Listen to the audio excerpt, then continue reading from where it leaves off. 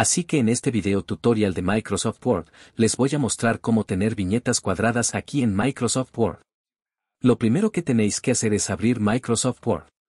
Una vez hecho esto, asegúrate de que la pestaña Inicio está seleccionada. Así que si estás en Insertar, por ejemplo, asegúrate de ir a la pestaña Inicio aquí. Y en la pestaña Inicio en la parte superior izquierda aquí, vaya a esta opción justo aquí debajo de Envíos que dice Viñetas justo aquí. Y si usted fuera a la derecha al lado de ella donde está esta flecha, si se pulsa sobre eso para obtener un menú desplegable, en realidad se puede cambiar los puntos de bala de la biblioteca de bala. Por ejemplo, si quieres cuadrar las viñetas, que es el propósito de este video, pulsa en el cuadrado de aquí. Y entonces lo que haces ahora es tener viñetas cuadradas. Así que si quieres, digamos número 1, si presionas Enter, número 2, número 3, etc., todas las viñetas serán cuadradas. Así que bastante sencillo, bastante simple.